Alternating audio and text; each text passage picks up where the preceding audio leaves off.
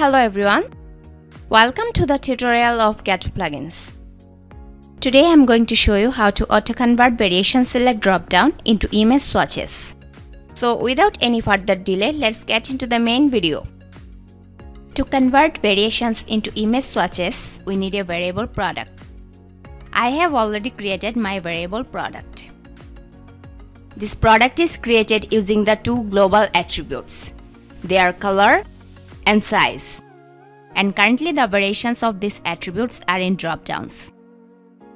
Now it's time to convert these dropdowns into button swatches. To do so, go to the product backend. Navigate to add new from plugins. Now search for variation swatches for WooCommerce by Emran Ahmed and install the plugin. The plugin has more than 200,000 active installations and plenty of 5 stars ratings. Once the installation is completed, then activate the plugin. Now the free version of your plugin is activated. Go back to the product front end and reload the page. So you can see after activating the free version of the plugin variation swatches for WooCommerce, variation selection drop-downs are converted into buttons. Now I'll convert these buttons into image swatches. But to do this, you need the premium version of the plugin variation swatches for WooCommerce. To purchase the premium version of the plugin, go to the link getplugins.com.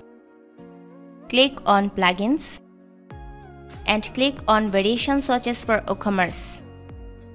Now purchase the plugin. Once you purchase the plugin, then download the zip file of the plugin.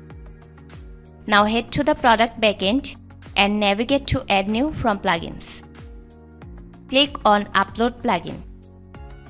Choose the downloaded zip file of the plugin. Now install the plugin. Once the installation is completed, then activate the plugin.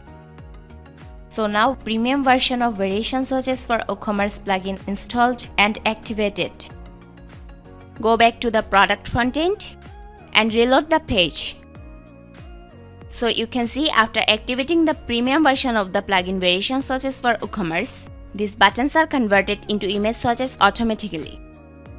That's all for today. Don't forget to subscribe and press the bell icon to get all the notifications of the latest videos.